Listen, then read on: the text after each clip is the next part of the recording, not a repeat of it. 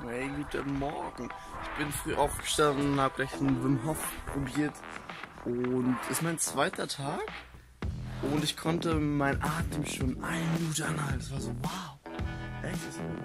Ist ja krass, Alter. Ähm, cool. Ich wurde auch so ein bisschen schwummrig, habe ich aufgehört. Ähm, auf jeden Fall wollte ich sagen, ähm, dann bin ich losgefahren, nochmal hier voll durch diese Bumpy Roads und so wie so ein Irrer so durchgefahren und ähm, bin ich zum Strand gefahren dann hat es angefangen zu regnen. Also war ich dann total nass und soaking wet.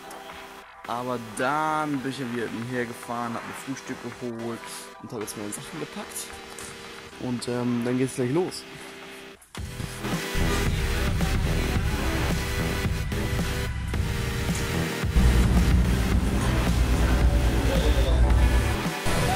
Äh, es ist 20 vor 9, endlich angekommen am Südterminal und äh, an diesem Wasserfall, ein Kambain-Wasserfall oder so, ähm, da bin ich an diese Familie von Filipinos gerannt und der eine, der ist gerade erst in die Stadt gezogen, mit dem treffe ich mich gerade und dann oh, das ist ein cooles Schülerzimmer, also ich habe gesagt, ich lade eins zum Essen und so und dann machen wir irgendwie Bilder, also was auch immer, Digga, ich habe irgendwie ein bisschen Lust, Cebu von der schönen Seite kennenzulernen.